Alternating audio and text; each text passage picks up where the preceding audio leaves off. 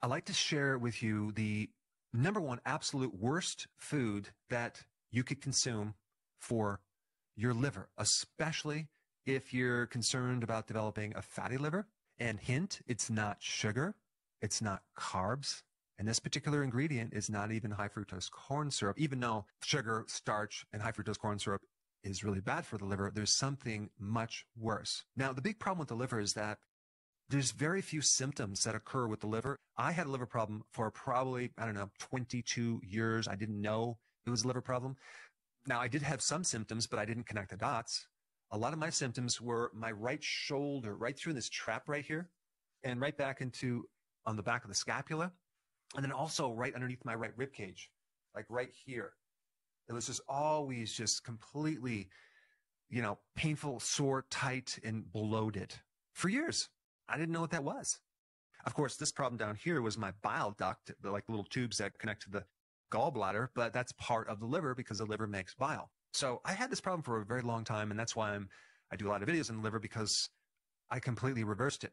And that's one big myth that I want to talk about because people think that once you have a liver problem, you always have a liver problem. Absolutely not. The liver is so robust and so rugged it's the, one of the only organs that can completely 100% regenerate. So that's one myth.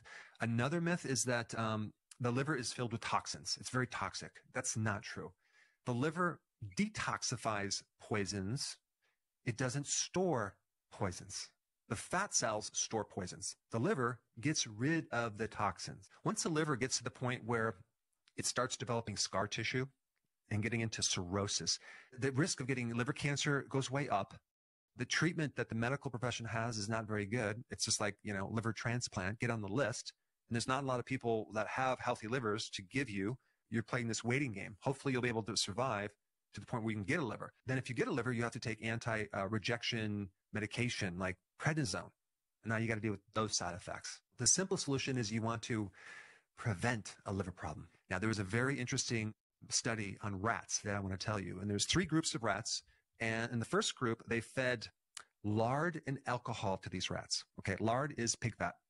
Second group, they fed beef fat, it's called tallow, and alcohol to these rats. And then in the third group, they fed them corn oil and alcohol. Now, what's interesting is the first group, the lard and the alcohol, had minimal damage to the livers. And then this test, they were testing for like liver damage and then the development into a fatty liver because there was alcohol involved. I kind of wish they would have added one more group with this test, like a group of mice that only consumed alcohol just to see what would happen. But anyway, the first group that had pig fat, lard, and alcohol, they had minimal damage to the liver.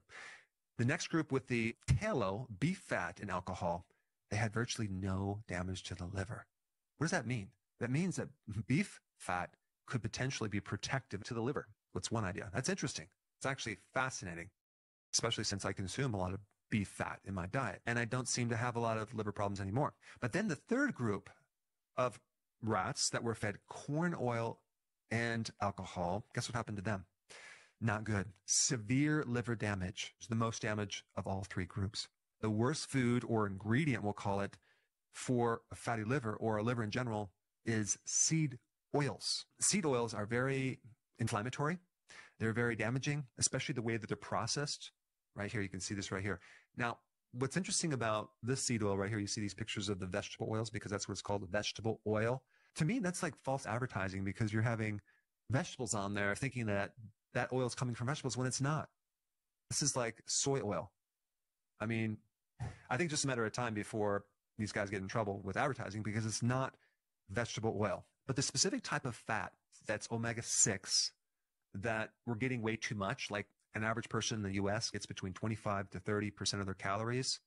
It's called linoleic acid. And so lard, pig fat, has about 2.5% of it linoleic acid. Tallow, beef fat, only has 0.7% linoleic acid. That's like less than 1%. But corn oil has like 56.6% linoleic acid. So it's this heated linoleic acid in the seed oils that are oxidized or damaged to the point where it can create a lot of free radical damage and like a rusting out effect on your cells, and especially in the liver, and the nervous system. And then from that, you get a lot of byproducts. I mean, I've done several videos on this topic. If you haven't seen those, you can check them out. But you want to get these oils out of your diet big time Our diet is composed of way too much of it, 25 to 30% of it. Uh, it's highly inflammatory. It also gets lodged and stuck in our cells, in our fat cells, in the membranes around our nervous system for two to three years.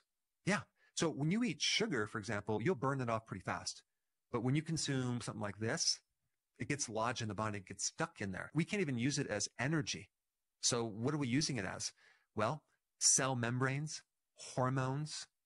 I mean, it's going right into our tissues and creating all sorts of inflammation and especially inflammation in the liver, which then leads to insulin resistance. And you should just start reading the ingredients on things. And when you go to restaurants, right, just ask what type of oil are you frying my food in? I would avoid anything fried at any fast food restaurant or any restaurant. I would not consume them because you're just getting more of the soy oil, the corn oil, maybe canola or cottonseed oil. You want to avoid that for at least, you know, two to three years to get it out of the system. Create a demonstration on yourself how good you could feel if you actually were to replace that crappy uh, oil with something healthier. You want to start replacing with omega 3 fatty acids. That would be like the fish oils, the olive oil, things like that. That oil is anti inflammatory.